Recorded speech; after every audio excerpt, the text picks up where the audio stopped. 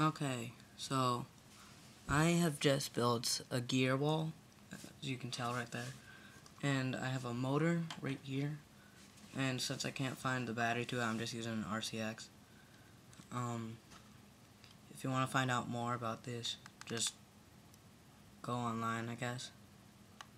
So, suck it up, and hopefully it doesn't break.